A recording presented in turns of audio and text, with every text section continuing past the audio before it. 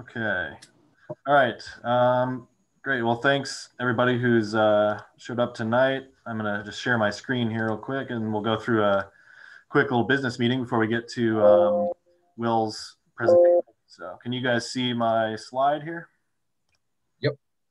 Okay. So yep. Um, I think most of you know all this information, but um, so we're the Midnight Sun Flycasters, uh, Interior Alaska's uh, fly fishing club established in 1976. And uh, the goals of the club are to share knowledge, develop and refine skills, and learn and promote fly fishing and fish conservation in interior Alaska. And uh, if anybody's not, um, you know, wants more information, definitely check out our social media and website. Um, we do a lot of interesting stuff like the the kids camp. You can see in the photo there happens every summer where um, kids can learn how to, to fish, to tie flies, to identify fish and insects. So it's a really great thing that's put on by the club. Um, additionally, there's fly tying nights, uh, stream cleanups, other get-togethers. So definitely um, quite a bit going on. Maybe less so in COVID times, but um, let's see. And so just a few announcements before I hand it over to Will, who's going to talk about um, Chena River salmon conservation and Cripple Creek restoration tonight. Um, so um, as you might have seen, we posted on the Facebook page, the 2021 Alaska fishing licenses can now be purchased. If anybody um, is wanting to get a jump on the season and get their licenses, make sure you don't get into the new year without your license. If you're going to be out ice fishing or even open water fishing down the Kenai or something, it's a good time to get one. And it's also kind of a cool gift for, you know, if you want to get somebody a Christmas present or whatever, get them their fishing license um, for the year. That's a be a very useful gift for somebody. Um, also, there's a comment period open right now for the Fish and Game annual stocking plan. And for interior Alaska, it's kind of seems like um, they're doing usually what they do, putting in a lot of Chinook and rainbow trout into the local lakes. Um, but in starting in 2023, they have slated to start stocking grayling again, which is cool. Um, seems like they haven't done that for a few years. I remember maybe 10 years ago, we would catch some grayling in Birch Lake and whatnot, but I think they haven't been stocking them for a while, so that's cool. They're gonna um, start doing that again. And then there's some lake trout stocking for Harding Lake and some of the Delta Junction area lakes uh, that'll happen in 2022 and 2024. Um, I think they even stocked some this year, maybe, and they hadn't done that for quite a while either. So that'll be cool. Maybe there'll be actually some younger, dumber fish that I can actually catch out of Harding. Um, also, you might have seen that uh, we shared this ugly sweater uh, fly tying night that Trout Unlimited is putting on. It's a virtual thing over Zoom on December 21st. Um, and so if anybody wants to, you know, bust out their ugly sweaters, I've got mine um, and tie some flies in a festive setting and you can socially distance be virtual or, you know, go wherever you want to do that. Um, that's, uh, I think that's a free event that you can do um, and just look on our page or Trout Unlimited's page to get the info for that. Um, so, and then just a few more things. So our, our banquet that usually happens in March, um, we're not sure if we'll um, have one this year just with COVID and, you know, we, the vaccine is starting to roll out, but we don't know what the situation will be by that time. So we'll kind of play things conservatively and we'll see if we do a banquet or not, kind of play it by the ear.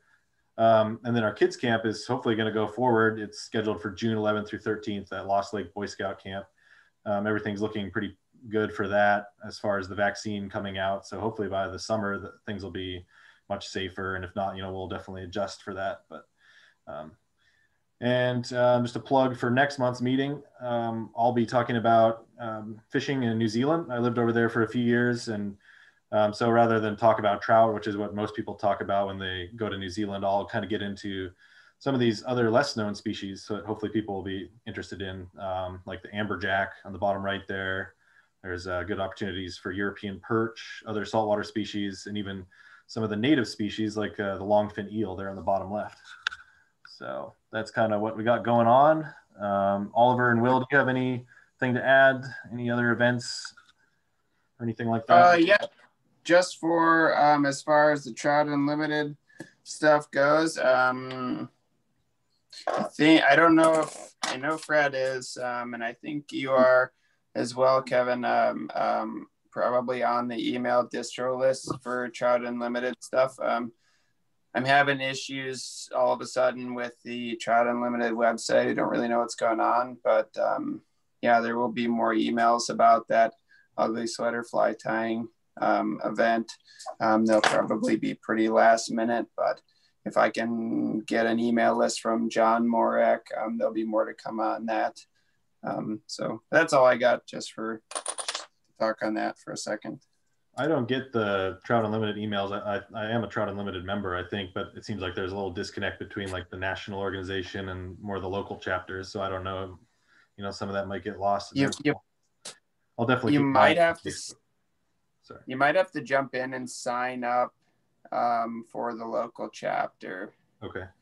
Um, I think that's um, that is a requirement to get the to get the uh, the emails about the local chapter stuff, but um, I can kind of walk you through how to do that as well because not too long ago I had to do it myself. So okay, yeah, I'll, I'll that's the same, that. same goes for anybody. Okay, cool.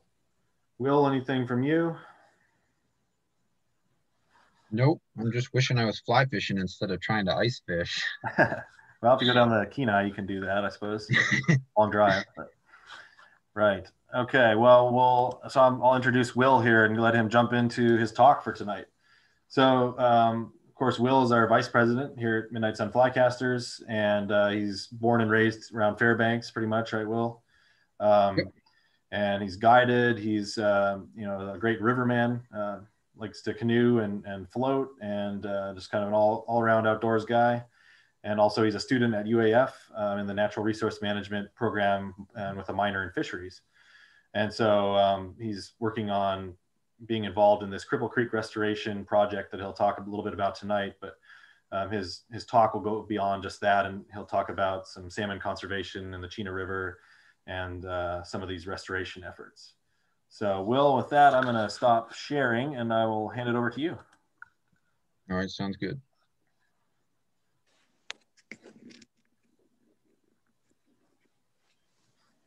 I might need to tweak the settings to let you share.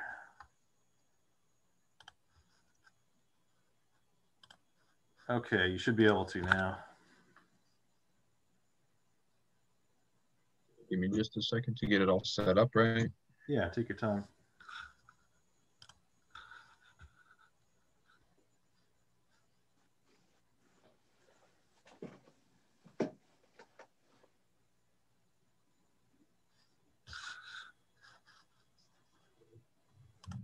And you guys can hear me all right? And can you see my screen now?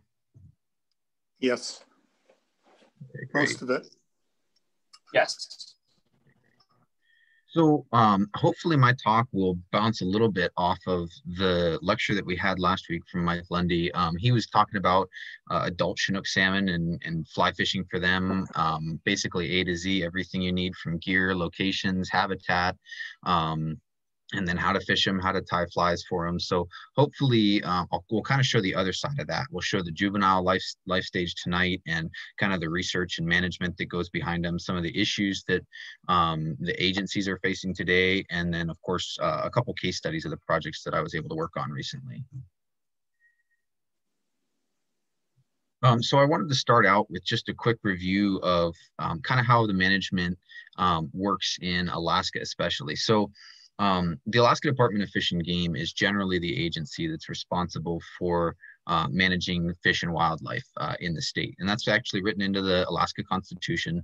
Um, across the United States, that's pretty common for the individual states to be responsible for managing their fish and wildlife. So um, in our Constitution, it's, it's written that um, our natural resources are to be developed in the best interest of the people in the economy, um, that they're for, for the public and, and the people of Alaska, um, that they're supposed to be reserved for the common use of people. Um, so for example, like exclusive fisheries aren't permitted. So um, nobody can come in and say, well, guides in this area bring in a lot of revenue, so they're the only ones allowed to fish here. So, um, and generally, it's it's a pretty positive, progressive way that Alaska manages our resources. Um, and then a, a big thing that I'm I'm really happy that is written into our um, the charter of fish and game is that these resources must be managed according to the sustained yield principle. And if you guys don't know um, what that is, it's it's a pretty simple idea basically that we have abundant resources and we want to be able to maintain those for uh, a long time. And so a sustained yield would basically be setting our, our harvest limits, whether it's timber or fish or wildlife, and,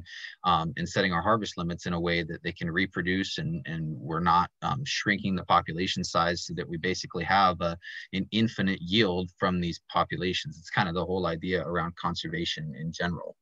Um, and then one of the really progressive things about um, fish and game and management in Alaska is the Board of Fish and the Board of Game. And um, those are uh, members of the public, members of the community selected by the governor uh, at the time. And uh, they are intended to represent the um, stakeholders of Alaska, of Alaskan natural resources. So there's supposed to be um, people from native groups on the Board of Fish and Game. There's supposed to be guides. There's supposed to be business owners and, and so on and so on. And I like to note that just because a lot of the times when I'm um, discussing these subjects with people, they don't really understand that um, the biologists in fish and games aren't often the ones setting the regulations. It's typically those big decisions, what comes out in the reg book um, and what, what you're looking at for, you know, when you're deciding deciding where to hunt or fish, those are actually decided by um, representatives of the public, and they have public hearings, and and it's definitely easy to get involved. You can write public comments. I just had a, a friend of mine who wrote a public comment and um, and got published in the newspaper for it recently, and um, so I would encourage you to to that that's um, to take advantage of that. It's not necessarily uh, the case across the rest of the um, United States or across the rest of the world. So we're in a pretty lucky spot here in Alaska, and um, I definitely um, implore you to to become involved in that process since we have the ability to. Um, and then outside of fish and game, there is other agencies that have a stake in the management um, of our resources. So for example, tonight I'll be talking about U.S. Fish and Wildlife Service, and um, they have some authority with um, international species, so like migratory birds um, or fish species that migrate across borders like Pacific halibut or um, like Chinook salmon, like we're going to discuss tonight. Um, because of uh, ANILCA, they've got um, some claim to subsistence rights. And um, so they've, a lot of their research and management activities focus on subsistence um, activities. And then any species listed on the Endangered Species Act, um, they're all, the, the federal government's also involved in that.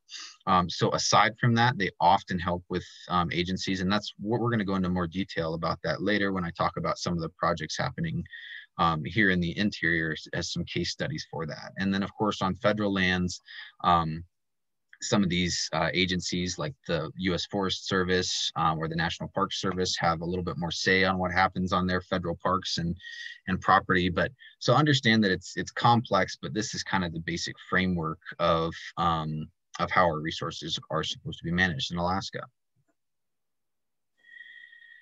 so with that, um, we'll start out with the bad news, um, discussing some of the conservation concerns of um, of Chinook salmon in interior Alaska. So um, over the past two to three decades, since about the, the er, mid 1990s, um, Chinook salmon in the Yukon River have been decreasing. And this trend has also followed statewide. Um, they've been decreasing in abundance uh, and size in general. And these trends have also followed in interior Alaska. You can see down here the um, Chena and Salcha rivers have seen a um, smaller escapement over the past 20, 25 years.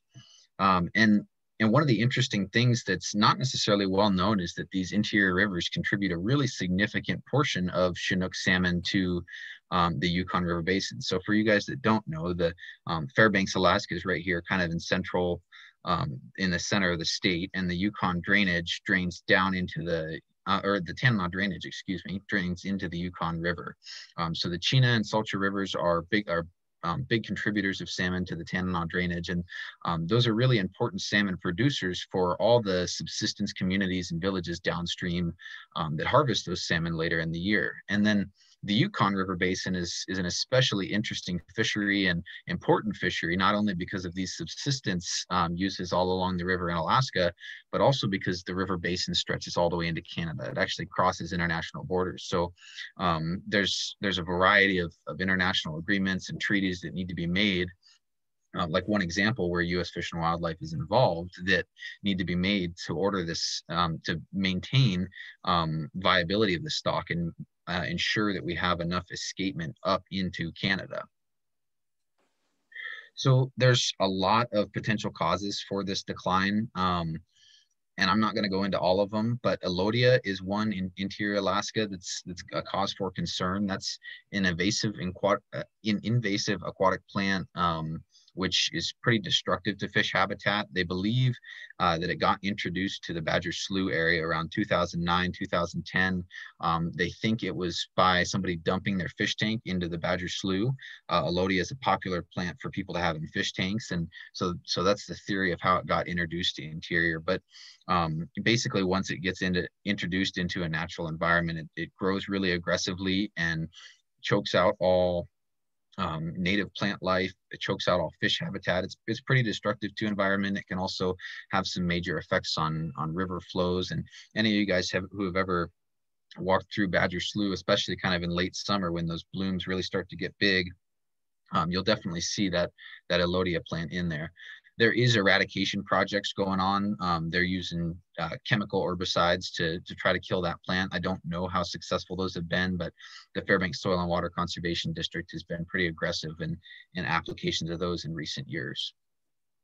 Uh, another concern um, for salmon uh, in the Chena River specifically is temperature. So um, downtown Chena, I don't know if you guys have ever noticed when when driving um, through downtown that there's a section of the Chena River that doesn't freeze over the winter, and you often see steam rolling off of it when it's um, warm outside, and that's actually from water that's being piped um, from the power plant. They use that uh, river water to cool the power plant, and they pump it directly back into the water. So um, I read up a little bit. There wasn't a ton of public info on this, but um, as as far as I can tell, they said they've had studies that um, looked at the the temperature effects from this power plant, and and they say that they don't affect fish species. Um, I couldn't get really any other details than that, but um, that heat pollution within that lower mainstem river is definitely a concern because it affects juvenile salmon, it affects adult salmon that are migrating up through the river, and it definitely affects other fish species that are in that area. Um, there's definitely cons uh, concerns for climate change um, in this area and across all of Alaska. There's been a lot of research on that. And then uh, the disease ichthyophonus is a disease that adult Chinook salmon um, get, and in, it increases their mortality as they're swimming back up river, and it can also um, reduce the success rate of hatching eggs. Uh, the the news on that, the um, media on that has kind of decreased in recent years. I don't know a ton about it personally, so um, but know that that is out there and that it's, that it's an issue as well. One of the biggest factors um, for this salmon decline seems to be at sea factors. So for example, ocean temperatures, um, available forage in the ocean, how much competition from other species there is, how much predation in the ocean there is of adult salmon, um, and then bycatch is a big one. There's no commercial fisheries of Chinook salmon in um, Norton Sound, which is the exit of the Yukon River. Um, but there are commercial fisheries for other types of salmon, and there is bycatch from that. So there is some commercial harvest, and um, that definitely has an impact on the overall fishery. Uh, but one of the very important parts of, of salmon habitat or, or, salmon life history is is its freshwater habitat. Well, it's rearing and well, it's a juvenile in its juvenile life stage as a as just a two or three inch long fish, and that's mostly what we're going to be talking about today. And that's really the type of habitat that the Chena River and the Salcha River interior Alaska provides for these fish. So kind of the management response to um, this salmon decline has been pretty widespread. Uh, the Alaska Department of Fish and Game has done a variety of traditional approaches. Uh, of course, they do escapement surveys where they run like a fish weir. They do carcass surveys and otolith um, research. They do juvenile abundance surveys um, throughout the Chena and other rivers and um, statewide as well.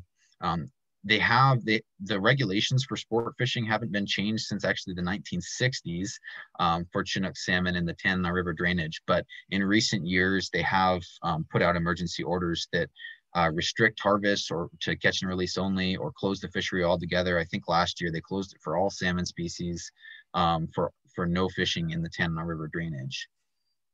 Um, U.S. Fish and Wildlife does some habitat restorations. They replace culverts and stream bank. They also do outreach and education, um, and that's what we're going to talk about later today. And then UAF definitely does a lot of research on a lot of different fish species outside of salmon, and they do habitat and hydrology and weather surveys and all sorts of different stuff. And we could just talk for weeks and weeks about all of their research projects that are going on. Um, and then one of the one of the things that I'd like to highlight here today is the Tanana Valley Watershed Association. Um, and so they're a non-governmental organization, they're a nonprofit, and, and their goal is basically to promote healthy watershed management um, in the Chena River and interior Alaska. So um, in 2015, and they've come out with a couple updated copies. They, they designed a watershed resources action plan, um, which is basically a design for best management practices and um, what areas are in need of conservation efforts in the Chena River drainage. So um, in order to do this, they worked with a lot of different agencies. You can see over here some of those agencies that I mentioned earlier. Um, they worked with a lot of different agencies and developed a plan of, of simple um, goals for managing the Chena River uh, drainage. So that includes no net loss of stream bank habitat, which we're going to discuss here um, with one of my case studies. Um, they want to reduce hard um, stream bank material like cars and concrete and replace it with large woody debris in vegetated areas. Um, they're hoping to restore connectivity for juvenile and, and adult fish, especially anadromous species like salmon. Uh, they want to ensure that the Chena River meets water quality standards by, set by the Alaska Department of Conservation. Um, and they want to achieve no net loss of sloughs and wetlands in both the upper and lower Chena River watershed and restore these wetlands to function naturally. Um, there was some some research that came out recently in 2018 that shows that um, Chinook salmon, juvenile um, Chinook salmon, use wetlands and off-channel habitat pretty aggressively um, during high flows and, and, high temperatures. So you can see that their plan was pretty actually pretty detailed. They have a couple different documents on it. They have information on their website. And I, I don't want to dive too much into the de um, their details, but it definitely encompasses a lot of things landscape conditions disturbance regimes geomorphology how a river changes over time um, ecological processes chemical physical and biotic processes. Um, so definitely a, a, a great project that they put together and a great goal. Um, within that, they actually designed a geographic information system, a mapping system to identify and prioritize areas in need of conservation. So we actually have these great mapping systems of interior Alaska watersheds that show, well, this is important fish habitat and it's degraded. So this, this would be an area to prioritize um, conservation or restoration efforts. And that's one of the tools that U.S. Fish and Wildlife has been using to um, use their uh, restoration techniques. So here's just a quick video um, from the Tanana Valley Watershed Association. Uh, this describes a little bit about woody debris and, it, and its importance. I think they say it better than I do, so um, I'd just like to share this with you and make sure to let me know that you can hear it.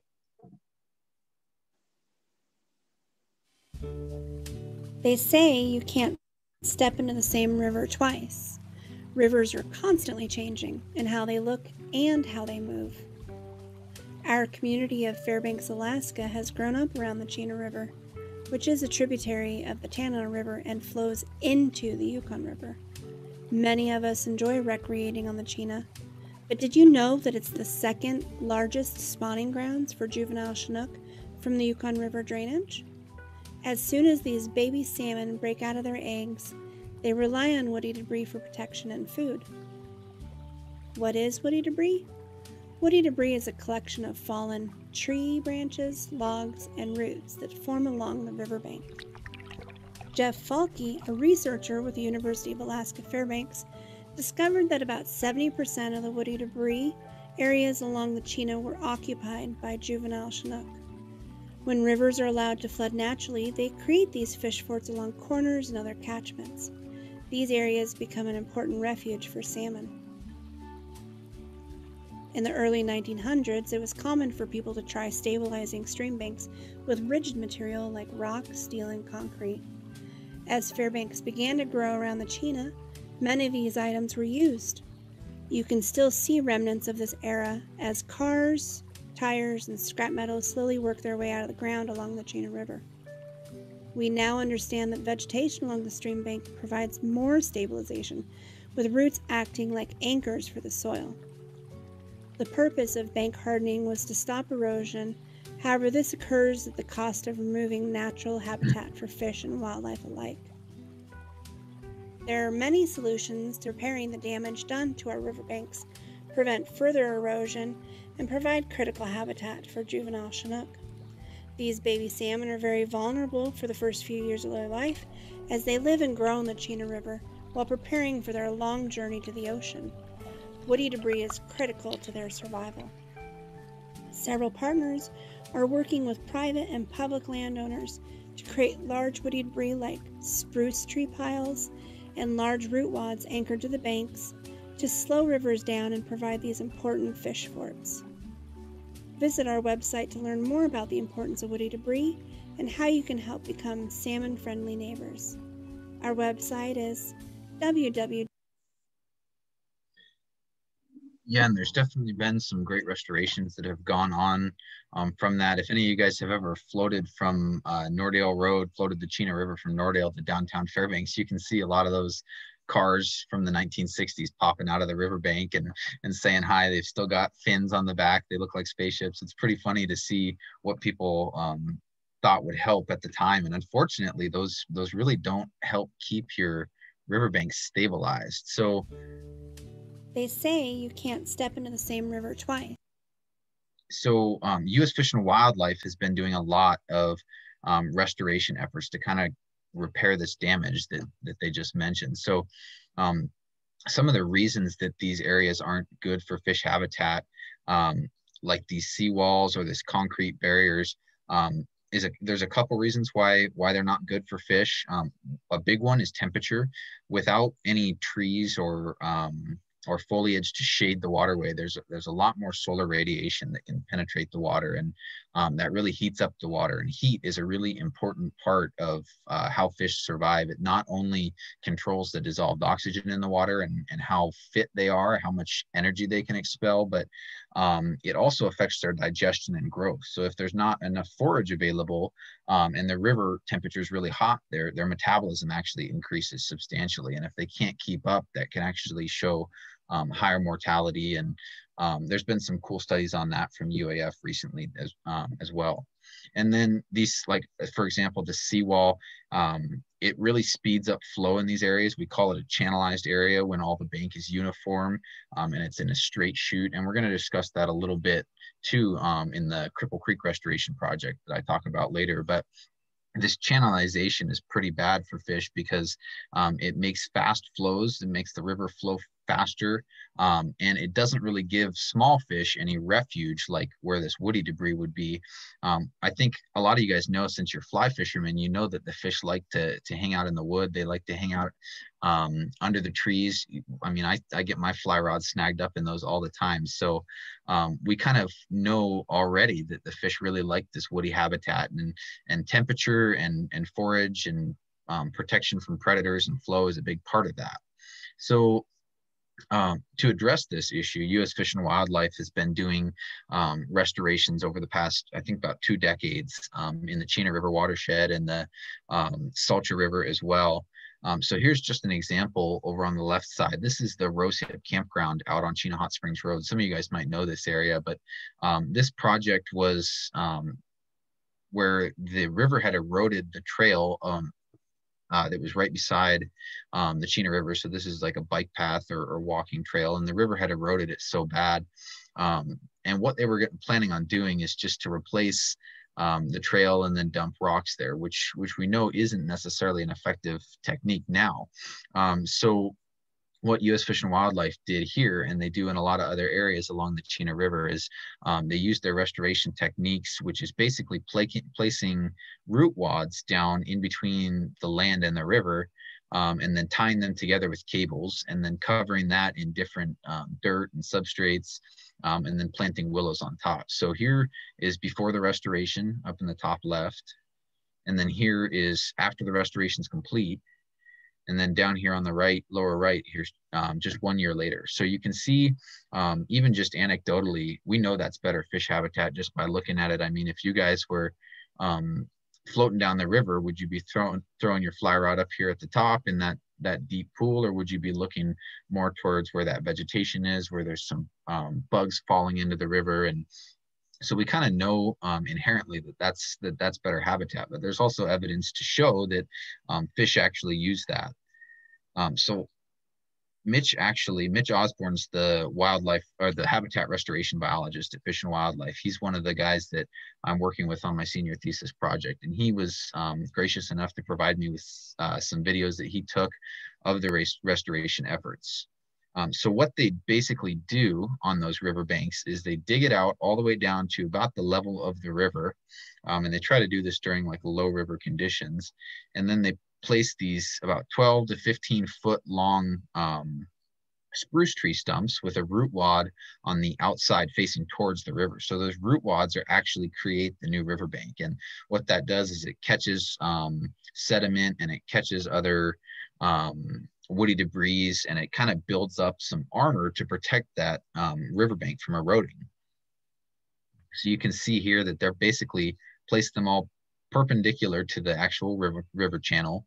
Um, and then what they do after that is they tie them all together with a cable and then they cover them with a couple different layers of um, sediments and, and rock substrates. And then they plant those willows on top. And we've actually got a great time lapse as well of a restoration. So this is that same um, Rosehip, uh, Rosehip Creek path that we were just looking at. Um, it's a little fast, so we might have to play it twice. But so they basically dug out the riverbank, placed all those root wads, and then they tied them all together. And then they have a kind of a recipe where they layer a couple different substrates on top of that. And then they place um, some organic debris or organic materials. And then they plant these willow stems. And those willow stems are about 18 inches to two feet long and they're just um, a, like a frozen willow stem and they plant them all the way down in the ground and what happens is those willow stems actually take root and sprout a new plant even though it looks like they're dead it just looks like you're push, pushing a bunch of sticks in the ground it's pretty interesting um, to see those plants and and see how um, how successful they are they, they have a really high success rate for um, how many of those plants take root now, one of the downsides to this um, type of restoration is that it's really expensive. It's five to seven hundred dollars per linear foot of river. So a restoration like this could end up at a hundred thousand dollars to a couple hundred thousand. Um, U.S. Fish and Wildlife has thankfully got some money to um, to do these projects, and that's that's with a contractor. It's actually um, Mitch just told me yesterday that that's actually cheaper than placing rock. Now they've they've finally got their methods cheaper than placing rocks along the riverbanks, um, which is good. So it's not only cheaper, but it's better for the fish and it's um, better for maintaining riverbanks. Um, and one of the interesting things is that um, Mitch is very supportive of people who are like DIY people, do it yourself. And so if you have equipment or you have a friend um, that, that's got a bulldozer or an excavator like this, um, he's actually willing to do like a sweat equity match. Usually he requires some sort of 50-50 match of cost sharing or sweat equity. So um, what he'll do is he'll actually cover all the costs if you guys are willing to do the work and, and place this yourself. And so he works with a lot of um, private landowners and a lot of private property, but he also works with um, Fort Wainwright. You can see some great examples of this. There's some great examples of these restoration techniques um, right downtown and then on the Salcha River as well.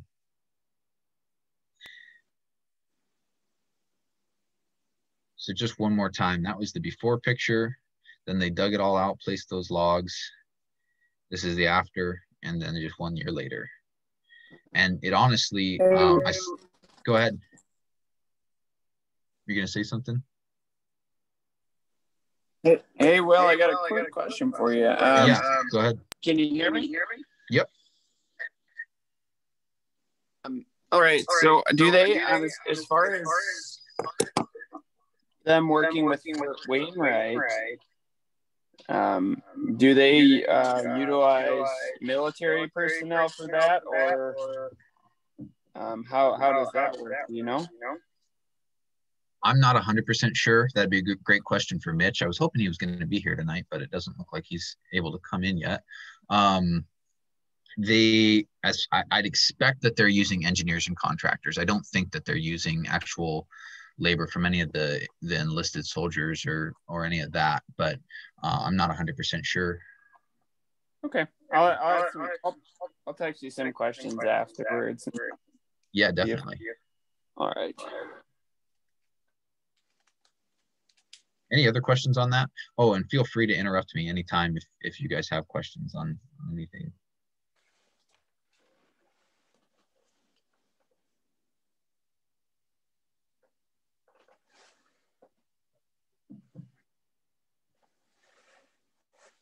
Great.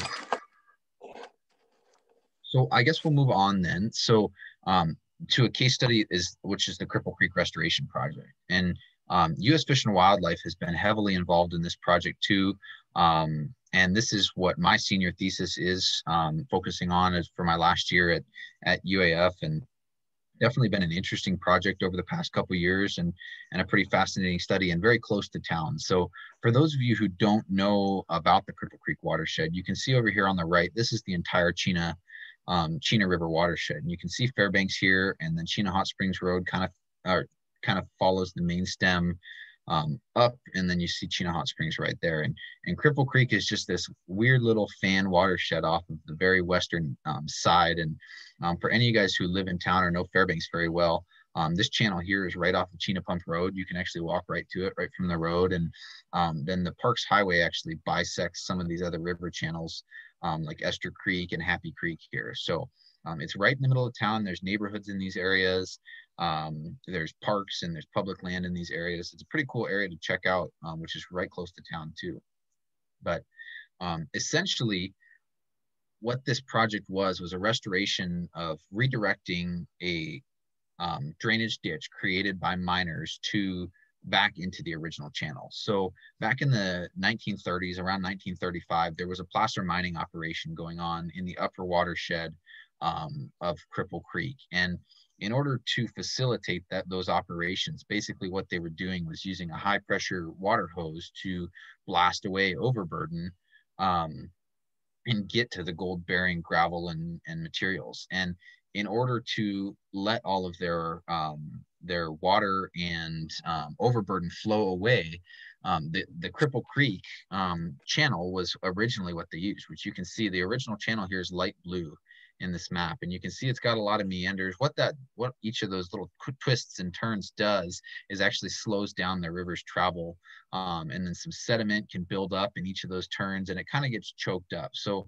what the miners did um, was build a drainage ditch right parallel to that and then they diverted water out of the creek and um, you started using this drainage ditch to drain all of their sediment and water in straight into the Chena River. So um, back in the 1930s and there was no reclamation there was no fish habitat permits or anything like that. So they could basically do what they want and we'll discuss that a little bit later with uh, um, some of the culverts that they installed and what they did. But um, essentially what u.s fish and wildlife uh, wanted to do was uh, reconnect this creek back in or re- redirect the water back into the original creek bed um, and reconnect these barriers to fish passage. So you can see here, this is Chena Spur Road. Um, and previously there was no culverts under there so that there those channels were not connected. Um, and then Chena Ridge Road, there was uh, no culverts as well. So um, they had a couple culvert replacements and some retrofitting in this area. And they also did some, some habitat work, which we'll discuss here in a second. Um, the bulk of this restoration was uh, occurred on um, Interior Alaska Land Trust land, which is a nonprofit organization that owns land um, and and manages it in a way for public use, so for recreation like ski trails and ATV trails, and um, so it's it's kind of a nice area, kind of a nice little refuge for people right in the middle of Fairbanks too. Um, but they just completed this project this fall uh, in August or September 2020, and and water is now directed back through this uh, Happy Creek channel and is flowing through the original creek bed again. So we're kind of expecting this spring for um, a, a, big blowout, a lot of sediment and stuff to, to get cleared out with that spring rush of water. Um, and then after that, they'll um, continue doing some research in the area to find out how effective their restoration was. So basically, um, this is right below Chena Pump Road, and this is kind of what we're trying to avoid up in the upper left here.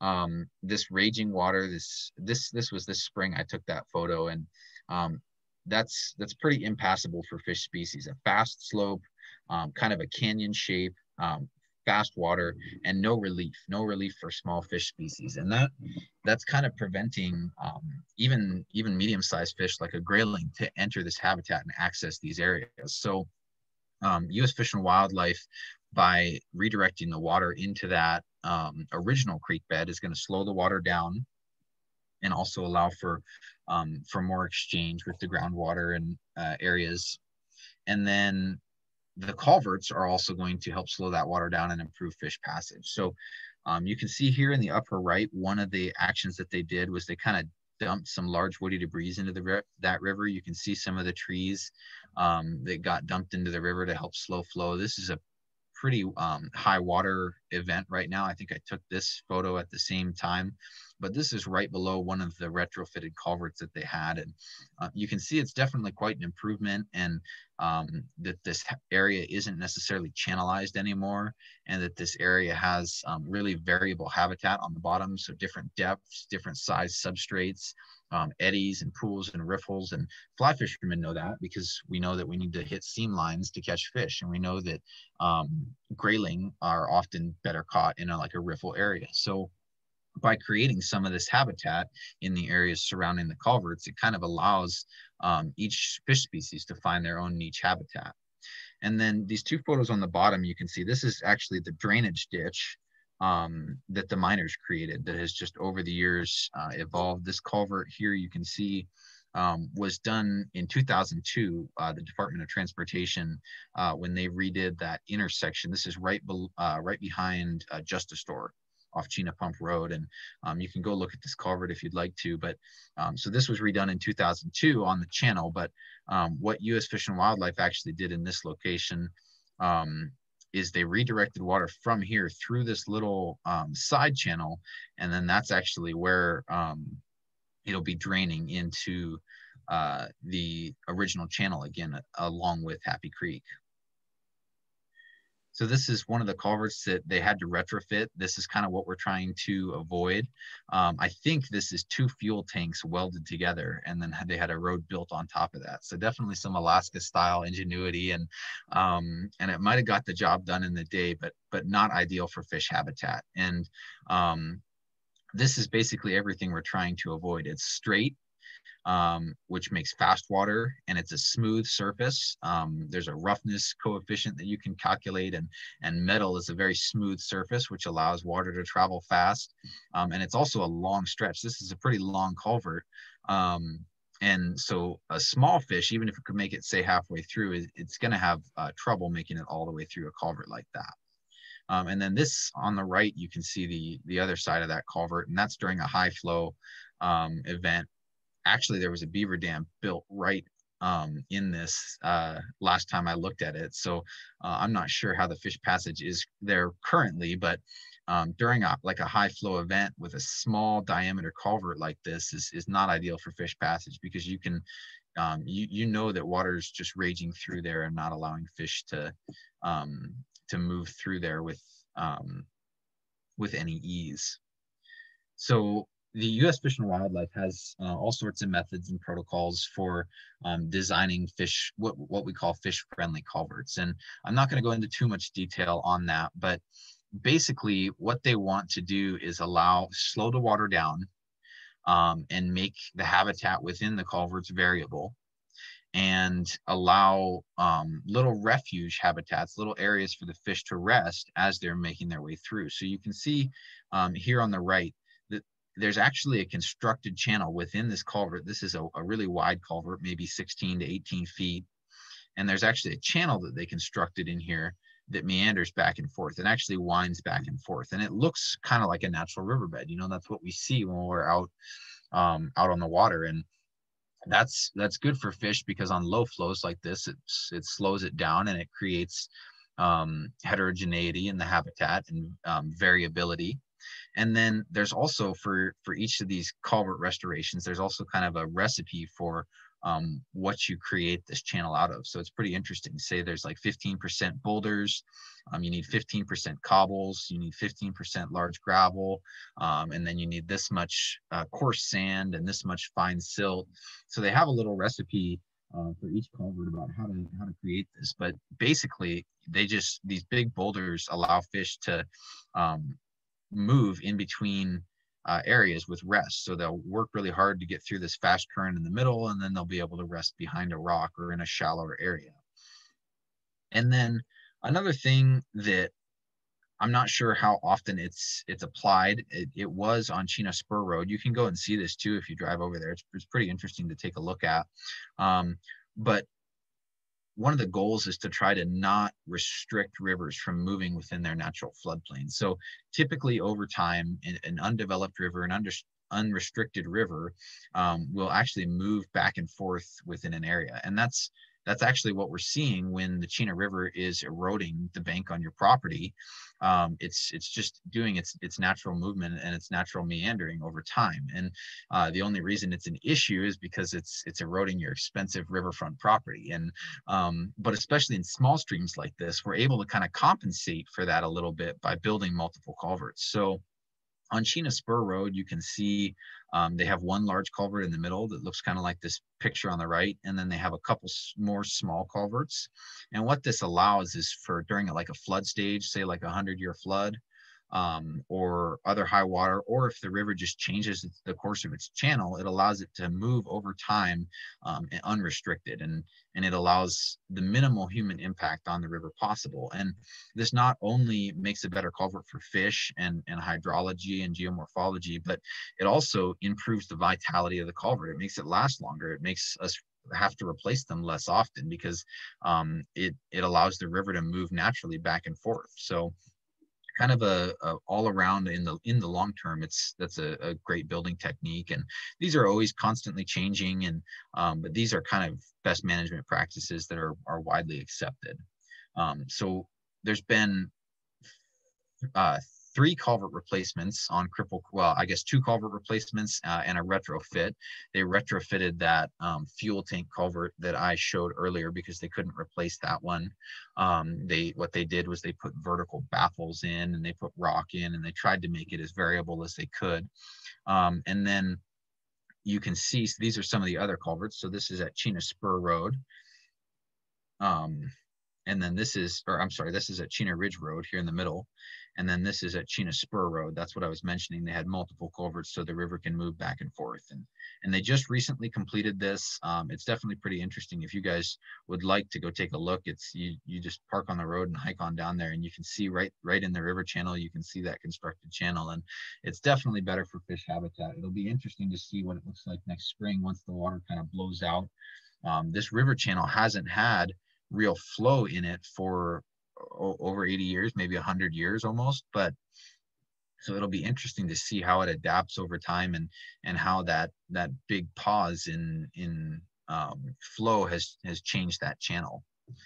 And then one of the other things that they did in this restoration was in all the areas surrounding uh, the, the restored culverts, they planted willows, just the same exact method as their stream bank rest, uh, restorations, where they plant the willow stems beneath and let them take root. And that basically just stabilized this um, uh, this riverbank. It creates it'll create shade, and um, it'll be interesting to see how it all grows up and how it all um, because it's such a recent restoration. It'll be interesting to see how it changes and. So overall, this project was intended to promote healthy riparian areas and um, they wanted to promote natural structure and stream characteristics in the channels. They wanted to allow for connectivity of the river systems for fish um, and, uh, and water. And they wanted to create diverse habitat for fish and other species. And that habitat diversity is very important. We there's a lot of research that suggests that more diverse fish communities and um, more diverse habitat uh, allows for more resilient populations, populations that can withstand more disturbances like floods um, or human development. So that maintaining that habitat diversity is, is a really important aspect of um, manage of watershed management. And you can kind of tell um, that all of these restoration goals align really well with the um, Tanana Valley Watershed Association Watershed Resources Action Plan objectives. So that's basic um, fishing. Uh, the United States Fish and Wildlife Service is basically taking that um, that book of the Tanana Valley Watershed Association made and saying, well, this is what we need to do, and they're applying it to each of their projects. It's it's, it's a pretty good system, and um, we're definitely grateful for all of their support. Um, and then, yeah, one of the other things I wanted to mention, it maintains natural refugia for um, wildlife, fish, and people. There's definitely some cool ski trails and ATV trails in that area. So if you haven't ever explored there, it's kind of a, a nice little wilderness patch in the middle of Fairbanks, and it's really quiet. So if you haven't ever explored in that area, I'd, I'd recommend you go. It's just right off of Chena Pump Road, and I'd recommend you go explore that area and check this out a little bit. So throughout this whole restoration process, um, the Fairbanks Youth for Habitat Corps has um, collected uh, minnow trapping samples um, and op operated these fish traps um, throughout uh, the entire creek system that, that, they're looking at restoring. So um, you can see the distribution of all the sites here, uh, both on the original channel and the um, drainage ditch.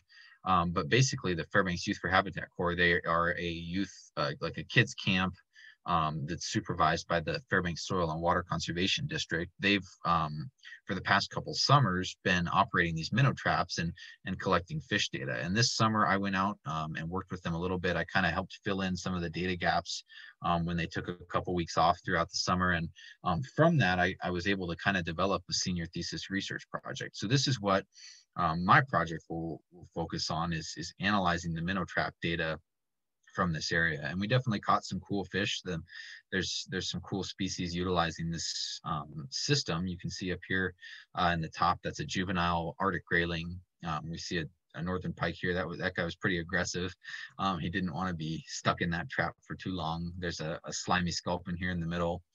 Um, and then this this little guy in the bottom that's a juvenile chinook salmon and um, he's a pretty unique fish. I, I, wanted to make sure to mention him because uh, we caught him all the way up at Site 16 here, up uh, uh, up at Happy Creek, and that's the farthest up in the river system a Chinook a juvenile Chinook salmon's ever been recorded.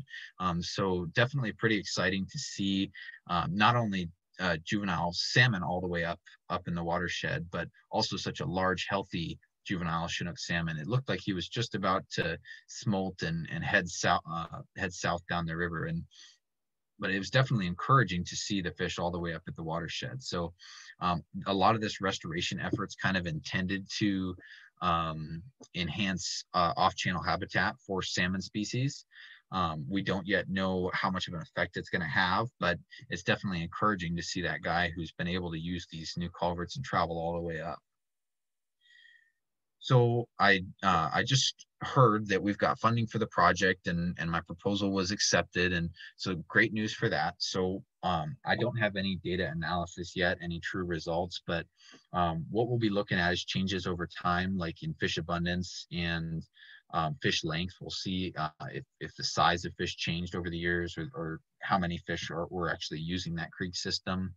Um, we're going to look at the uh, distribution of fish and kind of uh, assess how much the barriers to fish passage, those old culverts affected the fish pre-restoration. And then we're also going to take a look at the effects of stream temperature and discharge from the Chena River main stem channel. Um, and there's been some interesting research uh, in the Chena River that shows, like I said, that um, Chinook salmon juveniles use off-channel habitat um, at a higher rate during high temperatures uh, and high flows in the Chena River main stem. So we're kind of going to see if that carries through for this project, and um, it should be interesting to see how that all plays out. Um, like I said, we don't have a ton of preliminary results. Um, but something notable that we found was a, a twofold increase in fish abundance between 2018 and 2019. And that was right after one of the culvert replacements. So we can't yet attribute that to the restoration. Um, we kind of have to do some more analysis, but it's pretty interesting and, and good to see that um, the fish have increased uh, so dramatically recently. And then, of course, I mentioned that observation of juvenile Chinook salmon. It's not necessarily um, statistically significant, but um, definitely an exciting. It's ex exciting to see such a. Um, that I mean, that's that's the whole goal of the restoration. So it's exciting to see at least some success there. Any questions on that?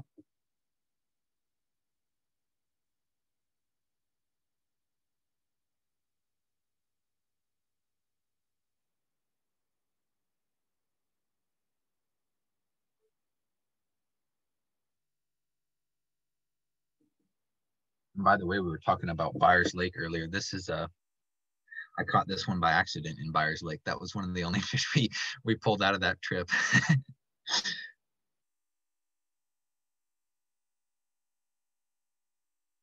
okay, well, if no questions, then we'll move on. Um, so I wanted to tell you too about one of the other projects uh, that I was able to work on this summer, and um, this is kind of uh, also in reference to um, the the habitat research that we talked about earlier and, and how that's an important part of, of salmon recruitment.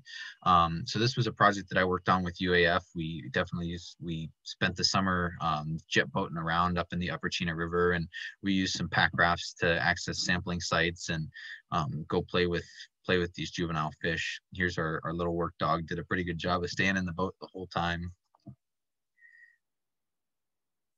Um, but so this project was assessing uh, the effect of wildfires on fish habitat.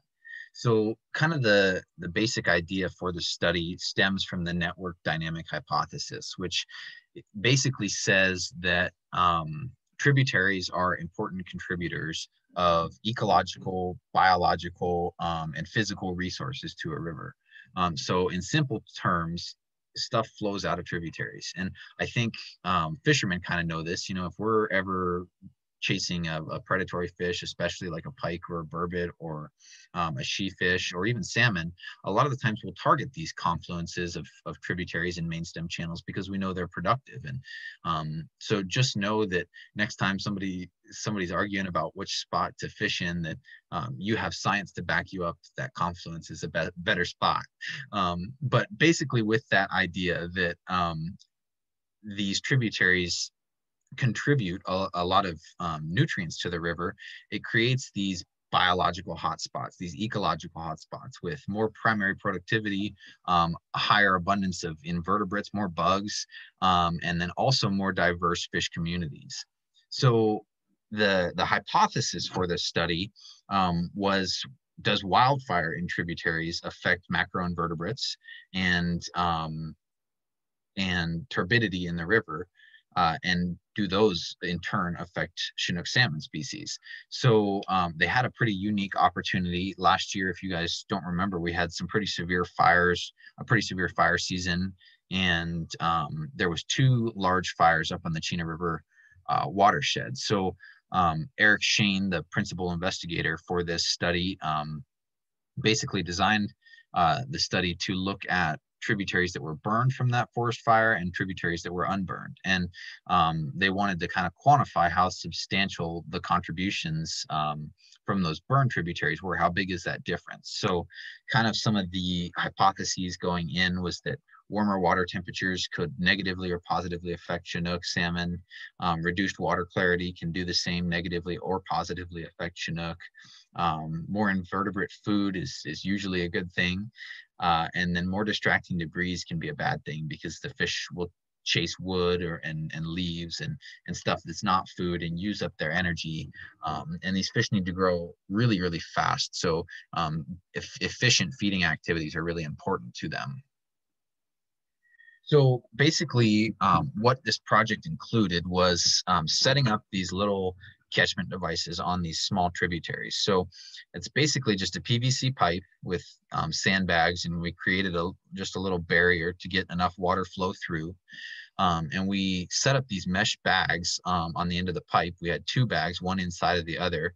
Um, one's like a coarse mat, a coarse mesh, and the other's like a really fine mesh to catch anything under one millimeter um, and and we sampled tributaries from burned areas and unburned areas, and basically we let these run for 24 hours and let them fill up with um, invertebrates and woody debris and leaves and anything that was flowing down the stream. Uh, and and then after 24 hours, we came back and collected them, and then we brought those back to the lab and and cleaned up all our data, and we actually counted each individual um, each individual bug species, and I, we identified each one and we identified woody debris and, and weighed it all up. Um, and then to relate that to the main stem Chena River, uh, we use this what's called a precision invertebrate sampler, which is basically just a water pump um, that pumps the main stem Chena River water up into this tank and then it drains down and it drains through the exact same two mesh um, uh, two mesh bags, the exact same, I think five millimeter and one millimeter. Um, and we would run that for an hour at a time. And um, basically just to see if below the tributaries had more debris or more invertebrates uh, than above. Looks like we got a question here. Uh, are there baseline data from pre-fire uh, from the same hotspot zones in the tributaries of the Upper Chinook? Yeah, um, I was actually just going to discuss that. I don't know if there is um, baseline data specifically for this project, but um, this invertebrate sampling device is actually um, part of a larger project, um, which is uh, being operated by South Fork Research. Um, Jason is a pretty well-known scientist around here, and he's kind of a mad scientist with some of the things that he creates. So they're doing a longer-term study on Chinook forage um, and how temperature and um, different factors can affect Chinook recruitment, juvenile Chinook size. Um, so for this study, we actually kind of partnered research crews and, and we shared techs and we shared equipment and shared effort so that we actually had to use less people to go out and gather this data. And then they're going to kind of take the data and break it apart into a couple different studies and um, and, and hopefully come out with some useful information. Uh, and then one more thing that I didn't have a picture of um, that Jason also has to get credit for um, was his uh, imaging unit. He basically built a custom um, imaging device with with a camera integrated and a computer system integrated into it um, that would take pictures of for of um, drift that was floating by in the river. And then later back at the lab they could take those photos of invertebrates and woody debris, et cetera, um, and classify them and use those photos to kind of truth this data and see how much it varied and see how accurate our, our methods were. This whole machine and, and these, these methods are kind of an attempt to become more precise in um, our measuring of invertebrate drift and woody debris because it can be a challenge at times um, to get accurate results that are representative of the whole river. So after we collected the um, forage and, and, drift data, um, the next step was to do habitat surveys. So we did a habitat survey um, for each of the tributaries that we sampled, and we did that. I think we did one a month, um, typically throughout the year, to kind of capture the seasonality of each tributary. So you can see um, Elizabeth up here doing some some foliage surveys, and I think she's actually doing a very similar project except on grayling around interior Alaska instead of Chinook salmon. Then you can see Ben here, he's rivering, uh, he's measuring a river transect to, for doing um, foliage surveys. And um, basically it's, it's a pretty simple process actually to do those vegetation surveys. We have what's called a densiometer, which sounds like a very fancy scientific instrument, but it's basically just a disco ball. Um, it's it's a dome-shaped mirror with grid shape painted on it or, or, carved into it, and you basically stand in the river channel and you look in in that mirror and you count the squares that have foliage in them. And that kind of gives you an estimate of uh, how dense the foliage above the stream is.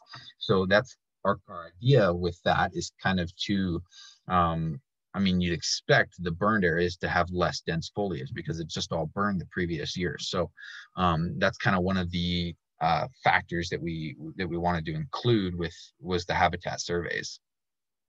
And then of course we had to relate this to actual fish species. So um, we ran minnow traps. These are actually the same minnow traps uh, as in Cripple Creek. You can see down here in the middle, that's the exact same thing that the Youth for Habitat Corps is running. Um, but we basically accessed a bunch of sampling sites um, with jet boats and pack rafts and et cetera. And um, gathered Chinook salmon data throughout the summer. And this was mostly to um, capture the length and weight of the Chinook. We're trying to capture growth and use that to compare differences between um, tributaries that were burned and tributaries that were unburned. Um, so that was definitely a cool process and, and it was great to see some of these fish. Uh, we saw some very cool critters and it was um, it was very fun to see how abundant these fish were. Some some days we caught, uh, I think we caught 270 Chinook salmon one day and just three traps at one site. Um, so it was it was pretty encouraging actually to see how abundant these fish were uh, in the Upper Chena drainage, especially once you see that scary graph um, at the front of our our presentation that shows that Chinook salmon abundance is declining. It's uh, kind of reassuring to see how many of these healthy little fish are out there. Um, and we caught other critters um, in our minnow traps as well. You can see a, an Arctic lamprey over here, and you can see a northern pike on the other side and a, another slimy sculpin. These photos at the top show some of the invertebrates and um, and woody debris and distracting drift that, that we caught in those drift nets. Um, definitely an interesting study and um, pretty fun to go out and play with these fish, especially on the nice warm sunny days that uh, feel lucky to have that job. So I was just talking to Erik recently, and, and he gave me a little bit of um, preliminary results. They don't really have anything super solid yet, but um, what their data is showing now is that the burned tributaries had warmer water temperatures and more debris than the unburned tributaries, which is kind of to be expected because they have um, less soil and less um, less foliage on top of the soil and less, you know, all the trees just got burned. We'd expect that sun to warm up the the water more and um, more runoff from the soil of those burned areas. And then he, he found that the main stem channel had more debris and was slightly warmer than the burned areas. And that's kind of to be expected um, as well. I don't know if that was a significant difference. Um, he hasn't been able to analyze that yet, but and you can see over here that we've tracked um, fish growth throughout the summer. Um, and that was just taken from large samples. And um, we didn't see necessarily a, a significant difference between um, the growth of Chinook salmon above and below uh, the burn tributaries. But over the winter, Erik's going to be continuing to go through the data analysis process. He's going to be doing running some statistics and some models to um, figure out uh, exactly what the results show. And then kind of the interesting next step for this study is going to be developing a drone imaging assessment method for these burned watersheds. So kind of the intent going into the study is to be able to use drone images um, to predict the effects on, of forest fires on fish habitat. So hopefully we'll be able to use this data to kind of extrapolate out and predict what, what effects forest fires might have on fish habitat in the future. So that's pretty cool. Um, I'm not necessarily involved in, in the analysis of this project. I was just a field tech this summer, and um, but I wanted to uh, make sure to show you guys this, and I thought it was a pretty interesting project.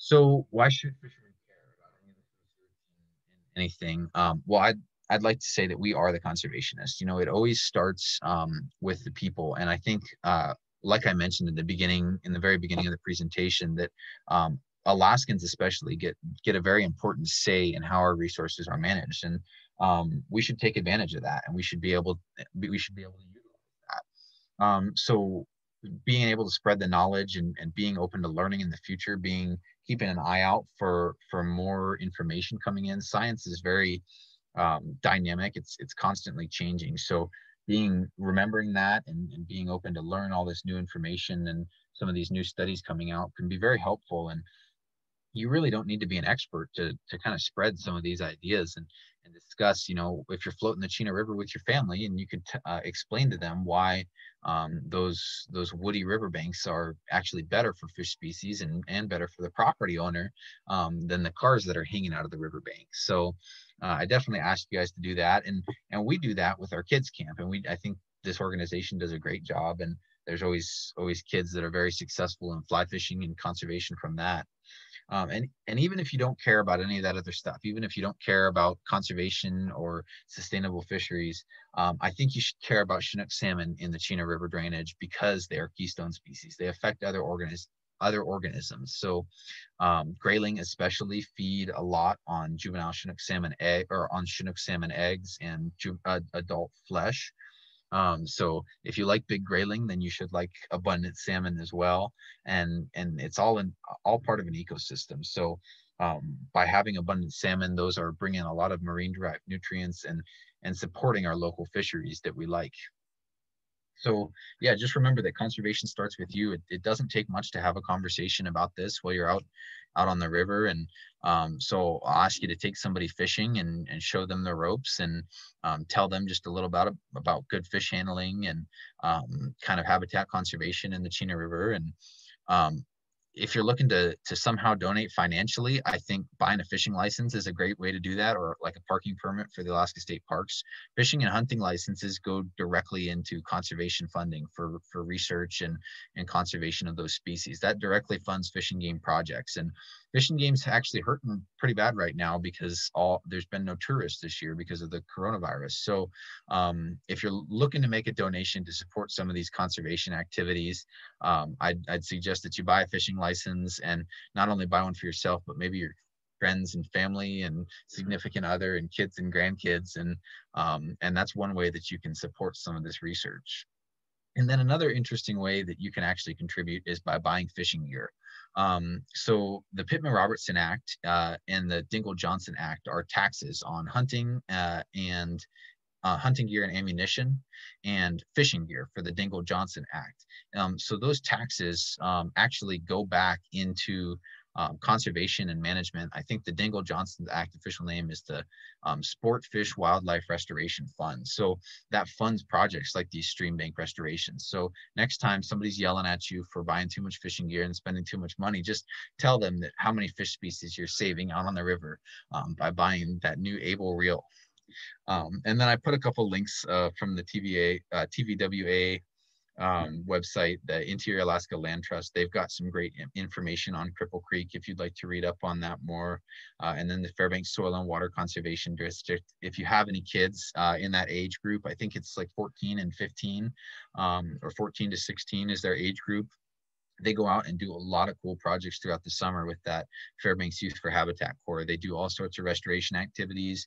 Um, like I said, they do the minnow trapping in Cripple Creek. They're going to continue that for a couple more years, but um, they do a lot for the restoration projects. And then, um, of course, our kids camp is is a great event each year. Those those kids, for those of you who don't know, um, those kids learn fly casting, they learn fly tying, and we also have an entomology, kind of a science section where they learn about the bugs in the water and they learn a little bit of ecology. So um, yeah, any of those organizations that you can support. And if if you don't think that any of that's the right fit for you to support, I encourage you to go out and, and find your own or, or make your own.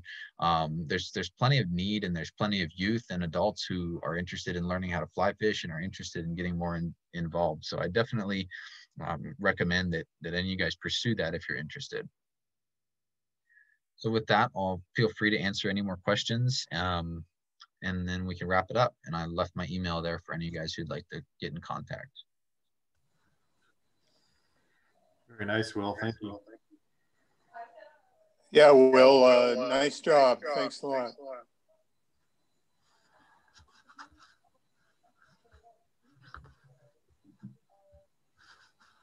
Loved it, man. Good job. Thanks, guys.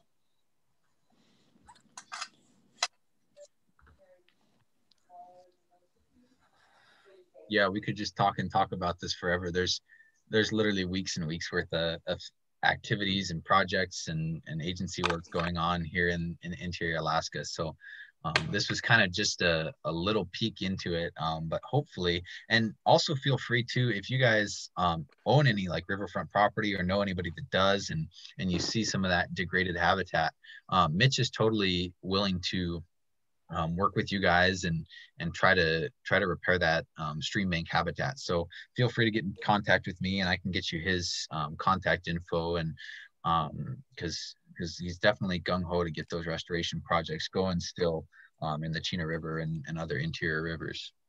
I think I know somebody who did that on the Salcha River, just upstream of the bridge. They this cabin that was almost overhanging the river. Had a for sale sign on it. Buy it. Yeah, yeah, well, it's a it's mutually beneficial because that's I mean, riverfront property is expensive, and and you buy that, and the river just starts eroding away your dollars, and um, so it's it's good that we've been able to find a way that's um, both both financially um, uh, productive and uh, healthy for the environment to to kind of save all these houses that are starting to fall into the river now. And in Alaska, are there other rivers besides the Chena? You know, I know they do a little bit on the Salcha, um, where restoration is occurring that you know. Um, I don't know of anything. I'm sure there's out. It's out there. Uh, like I said, some of the sloughs, like Badger Slough, um, they're doing some restoration activities. A lot of that is Elodea treatment. Um, I know Fairbanks Soil and Water Conservation District is doing treatment for Elodea up in the Tolovana drainage uh, up near Minto Flats. It's it's getting pretty bad up there as well. So they're treating that with a with a chemical herbicide, and um, hopefully it's been effective. I haven't heard too much um, about those treatments. Uh, I think the bulk of like stream bank restorations and culvert projects are in the Chena River um, and Salcha River drainages. I think one of the reasons for that is just because the Chena River has been the one that's seen the most impacts from um, human development and and historical degradation. But um, the Chatanika River has definitely also been mined out. Um, so there's there's impacts of that up there, and the Chatanika River holds salmon as well. Um, I think there's a mine near the Goodpaster River, and um, I believe that holds sam- Chinook salmon as well. So um, there's definitely kind of an endless list of, of projects to to go. I'm not 100% sure, but I believe next on the list, now that the Cripple Creek project is completed, I think they're going to be looking at doing culvert replacements in the upper Chena River.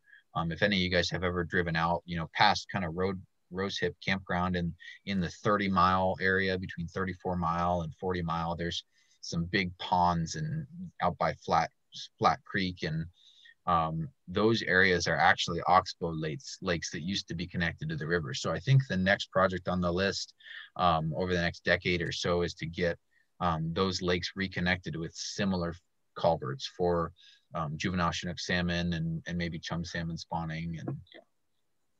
Cool. Yeah, I was thinking that Chatanika would probably be a good target for restoration, but I don't think there's much of a Chinook run there, if, if any. Um, I think there's a few but that's probably why there's not as much you know targeted restoration up there but obviously there's tons of historical mining and you can still see the the channelized creeks and all the dredge piles and stuff if you drive up there yeah yeah the upper uh, Chena uh, could potentially open up a, a lot of additional habitat if they can connect all those oxbows.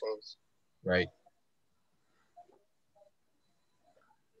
cool.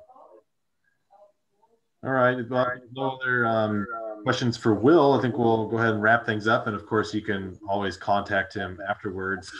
Um, you know, he's got his email up there if anybody wants to, to give him a, um, a email. Um, so, Will, I'm going to ask you to, I'm just going to share my screen, put our announcements back up here for yep. things coming up and before we close out. You guys see that again? Yep. Okay. Yep. So just um, so again, thanks a lot, Will. And we recorded this, so I will post a link to Will's presentation. Um, and really appreciate you going through all this, Will. I learned quite a bit. Uh, it was great. So um, just remember um, the, the, Ugly Sweater Fly Tying Night with Trout Unlimited, December 21st. Check it out if you're interested. Um, and keep in mind the uh, the kids camp um, coming up this summer if you know a kid that's that that age that wants to learn how to fly fish. And also keep in mind our january meeting talking about new zealand fishing. Um, so with that i'll just open it up one last time if anybody um, has anything else and uh, we'll go ahead and close out the meeting. Uh, yeah this is fred. I've got a quick question for will. Um, i didn't realize that jason was still around town I does he, does he live here now, or is he just come in to do some work, or or what? I'm pretty sure he lives down in Washington. Um, okay. I think he just comes up during the summers. It, he wasn't up a lot this summer. I think he came up and kind of got that study started um, this summer, and then I think he's back down in Washington. Um, and yeah, so I don't. I think he got tired of the winters, but um, yeah, I think he's down in somewhere in Washington now.